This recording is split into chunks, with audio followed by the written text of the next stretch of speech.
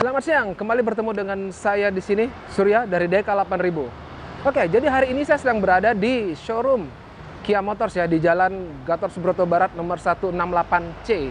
Jadi lokasinya itu persis di depannya S Hardware dan Pasar ya di Garsu Barat. Oke, jadi hari ini saya mampir ke sini untuk mereview mobil ini ya. Kia Sonet. Ini adalah mobil terbaru dari Kia di kelas 1500 cc. Nah, tampilannya udah modern banget ya, sudah sangat modern. Gimana sebentar uh, tampilan dari bodinya, terus interiornya seperti apa, fitur-fiturnya seperti apa. Nah, tetap stay tune di DK8000. Sebentar lagi akan kita kupas tuntas. Beli, ada test ride-nya, eh, ada test drive-nya nggak?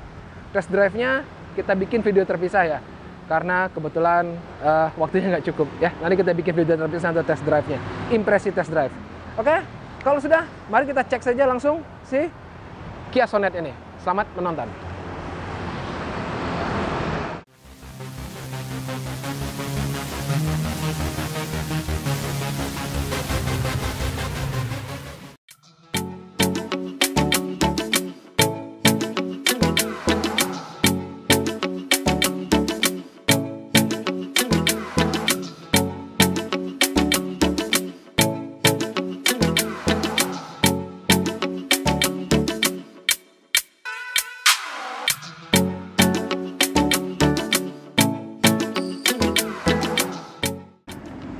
Bisa lihat langsung di bagian depan ya. Headlampnya ini semua sudah menggunakan LED semua ya. Dari sini terus fog lamp juga dia sudah menggunakan dari lampu uh, proyektor dari fog lampnya. Lalu dari sisi grillnya grillnya pun kelihatan sangat modern ya. Kalau kawan lihat di sini motifnya ini garis senternya si Kia masih ada di sini ya. Terus di sini grillnya modelnya tidak biasa jadi modelnya kayak huruf W gitu ya daerah sini. Terus logo Kia yang biasanya ada di sini dia berpindah ke atas ini ya. Terus dari sisi bawah bumper ini juga grillnya dibikin dua warna ya tiga sama bagian bawahnya. Jadi sini warna merah marun di sini dibikin warna silvernya. Jadi untuk bagian depan si Kia Sonet ini juga sudah menerapkan rem yang modern banget kelihatannya ya. Sudah two tone ada di sini ada warna silvernya di sini ada warna hitamnya ya. Spoknya ada palang lima nih palang lima. Terus untuk bannya dia menggunakan mereknya sih nggak biasa ya. Mereknya Apollo ukuran 215 per 60 ring 16 oke? Depan sudah disc brake. Kita lihat yang belakang. Nah yang belakang sayangnya belum. Yang belakang ini masih menggunakan drum brake.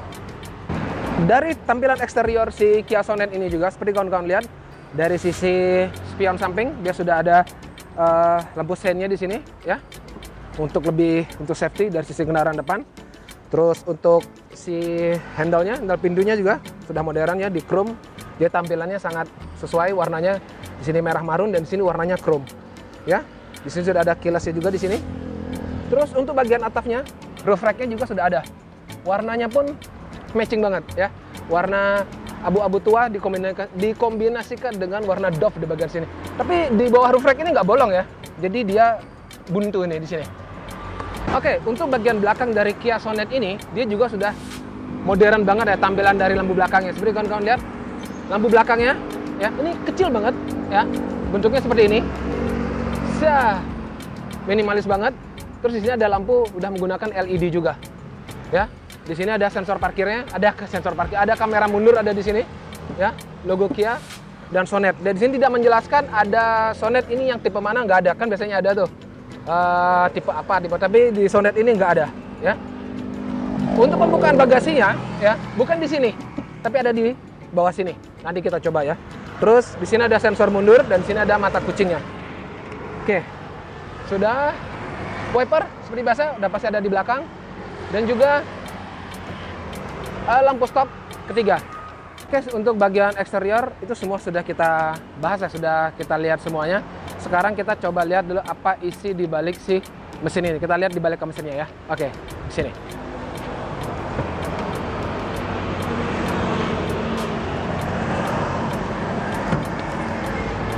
Oke, kita lihat. Ntar ya, ini karena sendiri, jadi ngangkatnya agak berat. Tunggu sebentar. Mana dia? Yuk, ini yuk. Ntar. Ya kawan-kawan ini adalah tampilan mesin dari Kia Sonet ya. Kia Sonet yang 1500 tepatnya 1497 cc.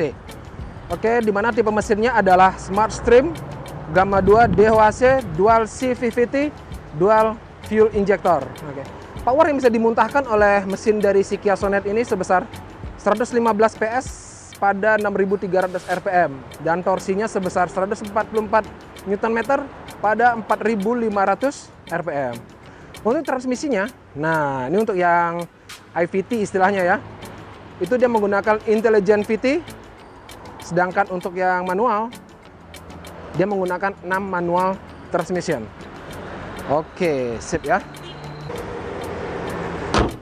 Bagian mesin sudah, sekarang kita lihat bagian interiornya ya, seperti apa. Hop hop. Sudah kawan-kawan lihat di di bagian door trim Kia Sonet ini ya, seperti ini. Ini adalah tampilan dari door trim. Ini adalah tampilan dari door trim Kia Sonet ya. Seperti yang kawan lihat, di sini ada motif kayak segitiga-segitiga gitu ya. Terus di sini ada two tone gitu, jadi kesannya biar kelihatan mahal gitu mobilnya ya. Terus di sini letak untuk apa namanya uh, mirrornya, electric mirrornya. Terus di sini central lock, for window ya normal ya. Nah di sini stitchnya warna merah. Ini bahannya kulit tapi kulit kulit ini ya kulit pasti kulit sintetis ya bukan kulit beneran ya. Oke terus nah yang surprise juga di sini adalah audionya. Itu by Bose. Gitu bunyinya ya Bose gitu ya. Tapi di sini juga nggak asal bolong kayak gitu. Jadi di sini ada motifikasi segitiga segitiga juga. Mirip seperti tadi di bagian handle pembuka pintu ini ya. Di sini ada cup holder di sini satu lumayan gede banget nih. Terus di sini bisa naruh apa ini? Payung ya? Ya payung tapi kayaknya payung lipat yang kecil ya ini soalnya dalam juga nih segini bisa masuk nih wow payung lipat kayak bisa masuk sini oke di sini juga ada speaker juga dan seperti biasa ada nah, ada segitiga segitiga gini modelnya di sini ya sekarang kita masuk ke bagian dalamnya seperti yang kawan-kawan lihat, ini adalah tampilan dari interior Kia Sonet. Lihatin aja dulu ya. Wah, keren kan? Iya, ini juga. Iya, kita lihat dulu dari sisi kemudinya. Kemudinya ini nggak bulat 100% ya. Ini di bagian bawah dia nih flat, dia rata di sini. Jadi kesannya gimana gitu. Modern banget kesannya ya. Terus di sini udah seperti biasa, ada tombol pengaturan banyak di sini kawan-kawan udah pasti udah tahu semua yang main mobil ya. Terus untuk lampu sen ada di sebelah kanan, lampu semua ada di sana. Kiri untuk wipernya semua kawan udah pasti pada tahu. Speedometernya ini dia. Ini keren banget speedometernya. Ntar kita, kita langsung liatin aja ya kayak apa ya. Tutup dulu. Oh ya, Kia Sonet ini sudah menggunakan start and stop. Nah, kuncinya seperti ini. Ting, kelihatan nggak? Aha, ini kuncinya. Oke, kita hidupkan aja dulu. Satu, dua, tiga. Cekikik. Aha. Sistem cek.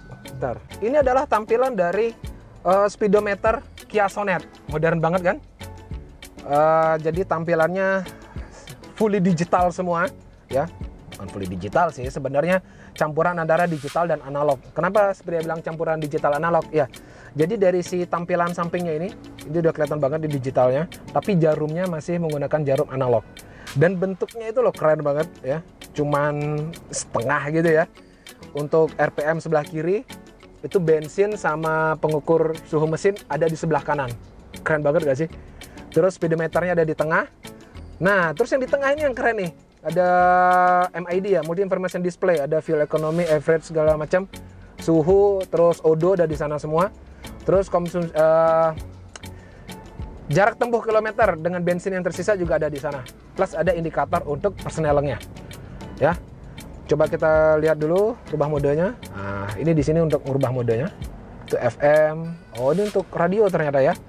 Ini untuk milih radionya. Coba kita lihat pencet tombol menunya. Nah, tombol menu baru kelihatan sana ada tire pressure, terus ada user setting, lights, door, convenience. Oh, banyak sekali ya. Oh, itu dia fuel economy ya. Oh, dah. Oke, segini aja kelihatannya dulu. Mungkin kawan-kawan udah ngeliat ya. Terus sekarang kita beranjak ke bagian sisi entertainmentnya. Seperti yang kawan-kawan lihat, ini by Bose di sini ya. Terus di sini untuk tombol-tombol seperti tombol untuk radio, lalu ada untuk media. Ini favorit ya, bintang. Terus ini untuk radio, pencari gelombang. Ini CD, Ini udah setupnya. Kawan-kawan lihat seperti ini. Uh, to start connecting Android Auto or Apple CarPlay, press this widget. Oke, nantilah kita nggak sampai connect sini ya, karena kita cuma lihat first impressionnya aja dulu ya. Terus untuk lubang kisi-kisi AC bentuknya seperti ini, juga modern banget ya. Naik turun, kiri kanan. Nih, lucu. Biasanya bulat nih bentuknya gini. Jadi kelihatannya lebih unik gitu jadi kesannya ya. Terus untuk sisi AC, nah ini dia juga kerennya. Mobil yang start dari harga 100 benar. Contekan dulu, 218 juta untuk versi standar hingga yang paling mahal ada di 314 juta ya. Nah, tampilannya nanti kompartemen tengah seperti ini ya. Nah, kebetulan untuk versi yang paling bawah saya nggak ada unitnya di sini. Ya, ini kebetulan kayaknya versi yang lumayan tinggi ya karena udah transmisi otomatis ya. AC-nya tampilannya full digital seperti ini ya. Jadi AC untuk pengarah semprotannya ini, terus ini untuk pengarah keluar masuknya si AC anginnya ini, terus di sini untuk pengatur kecepatan kipasnya, suhu di sini ya. Ini untuk wow, ada penghangat jok ada juga ya. Keren keren keren. Ini drive traction. Wah, ini kita nanti kita coba nanti nih. Oh nih, drive menunya ternyata Eco, normal, sport. Wow, keren ya. Oke, kita rubah ke eco aja lagi ya. Nah, ini juga untuk traction. Traction kita pencet. Traction, oh ada snow, mud, sand. Oh, keren ya. Oke deh. Oh, ternyata untuk penghangatnya juga ada di dua jok ya. Ini jok kiri, ini jok kanan. Mantap Kia. Oke, terus untuk di bagian tengah ada power outlet ya. Tapi ini belum USB, jadi silakan bawa ini sendiri, adaptornya sendiri, 12 volt 180 watt. Nah, sedangkan yang di tengah yang USB baru bisa. Nah, ini ini USB untuk ke entertainment ya. Sedangkan untuk yang chargernya ini ada di sini USB-nya. Jangan salah colok ya. Ini berarti USB aux berarti ya. Nah, terus untuk sisi persnelangnya seperti ini tampilannya. P R D N seret seret seret D. Ah, ini. Plus plus minus minus. Oke. Keren. Dah. Konsol tengah. Untuk naruh minumnya seperti ini. Terus tengahnya kecil ya. Tapi cukup lah untuk nyimpan handphone segala macam. Ada untuk charger nggak? Oh nggak ada. Cuma STNK aja. Oke terus bagasinya lumayan cukup untuk nyimpan buku-buku di sini ya. Oke juga. Ya nyaruh apalah masih bisa di sini. Yang kiri sisi kiri juga udah ini untuk tampilan atasnya ada lampu iya untuk niman kacamata, iya. Dan yang paling hebat adalah ada sunroofnya. Jeng jeng. Ada sunroof cuy, mobil 200 mulai 200 jutaan sudah ada sunroof bro. Keren. Sekarang kita buka ya. Kita lihat, ceklek. Mama, mobilnya papa bisa kebuka atasnya. Oke, kita tutup, seret. Oke, ini juga bisa dibuka seperti ini. Jadi supaya nggak begitu siapa tahu pengen pakai uh, udara uh, angin tapi biar nggak terlalu berdebu gitu lah. Nah, bisa dibuka kayak gini. Dah oke kita tutup lagi ya. Biar nggak silau. Untuk bagian sun visornya ternyata dia nggak ada cerminnya ya. Lampu juga nggak ada ini yang dikorbankan sama Kia untuk dapat fitur-fitur lainnya yang lebih modern kayaknya cerminnya cuma ada di sini kayak Ya betul, cermin cuma dari sini tapi nggak ada lampunya. Oke, itu sudah sekarang kita coba ke bagian belakangnya ya. Oh ya, untuk pengaturan joknya ini masih manual semua ya. Seperti ini tampilan pengaturannya. Ya. Wuh, lapang jok belakangnya. Saya sekarang sedang duduk di jok belakangnya dari Kia Sonet ya tampilan Kia Sonet dari luar sih memang kelihatannya kecil ya, tapi setelah masuk ke bagian belakangnya ternyata lebar banget ya. Kaki saya tingginya 175 cm, berat saya terakhir 80 kilo ya. Dan ternyata di bagian sisi kaki ini masih ada spare ya, empat setengah jari lah kurang lebih ya. Ini nyaman banget, gede banget, lapang lah gitu ya. Belum lagi di sisi sininya, dia punya ah AC sendiri. Uh, uh, asik. Tapi tidak ada pengaturannya ya. Jadi mohon maaf. Tinggal terima dari arah depan sana. Anda nggak bisa komplain kalau duduk belakang ya. Terus di belakang juga sudah ada untuk charger pakai USB ini tempat nyimpan ya barang-barang lah di sini. Keren. Keren good job Kia. Oke. Dan di bagian belakang juga dikasih speaker juga dong dari Bose juga dong ya uh keren banget. Oke kita sekarang ke arah belakang. Oh ya hampir lewat. Ini ternyata di bagian tengahnya ada armrest juga ya. Armrest lengkap dengan cup holdernya untuk dua biji. Safety belt satu dua. Oh ada dua aja ya? Oh tiga. Ini satu lagi. Ada tiga. Ya standar lah ya ada tiga ya. Oke sekarang kita ke bagian bagasinya kita ke bagian bagasi. Seperti apa tampilan bagasinya?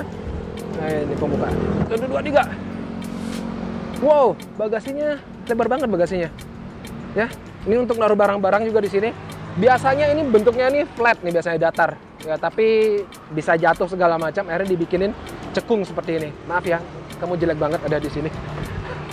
Nah seperti ini. Jadi bisa naruh barang jadi jika pun jalan dia jalan-jalannya begini. Asoy. Ya kamu balik lagi ke tempatnya ya Nah untuk bagian bagasinya ini juga lebar banget dan ternyata di belakang ini ada speaker juga ya. Tapi nggak tahu by Bose atau nggak, soalnya nggak ada nggak ada tulisannya. Itu untuk pengaman. Oh, add kit ya. Terus kita lihat, ah ternyata ada ban serepnya. Ban serep dari Goodyear. Oh beda ya. Saya pikir dari Apollo. Goodyear ukuran 195 per 65 ring 15 ban serepnya. Namanya juga ban serep ya. Jadi sekedar untuk serap saja. Kita belum lihat pada saat dia direbahkan. Ntar, coba saya rebahin dulu ya.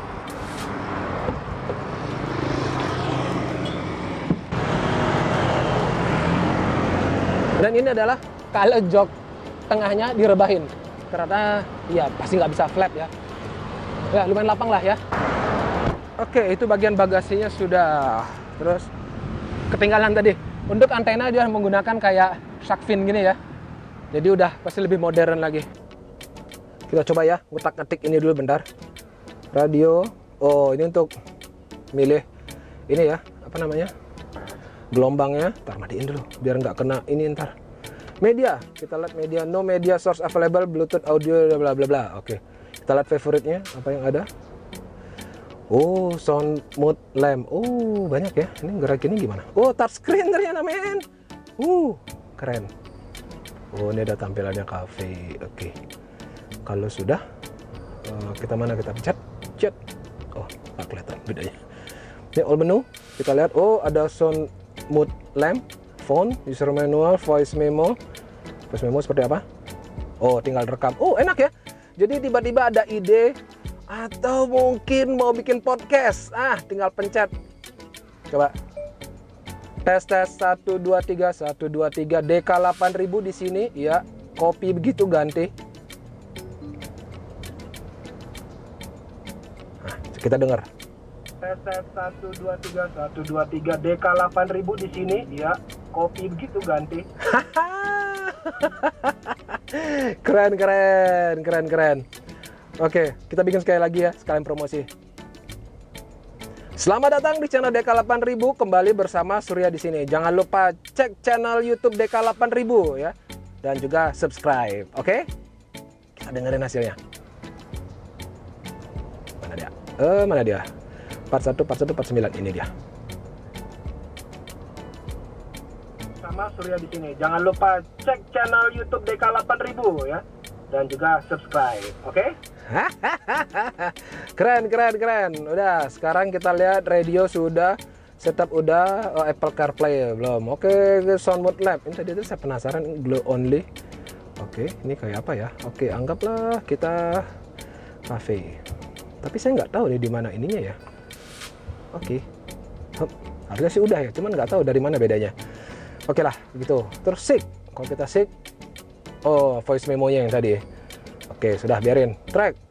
Baik dulu. Track. Oh, ini ke sini untuk CD-nya tadi. Kalau setup kita Oh, ini untuk mencet tombol semua. Oke lah, nggak usah lah ya. Sip. Nanti saja biar lebih detail lagi nanti sama orang ininya ya. Semua orang Ki, oh, semua orang Kia aja. Demikianlah video first impression dari Kia Sonet ya. Nah, kebetulan Kia Sonet untuk wilayah Bali itu dijual ya, versi paling murah yang manual itu di harga 200 18 juta, sedangkan yang versi paling mahal itu ada di 314 juta.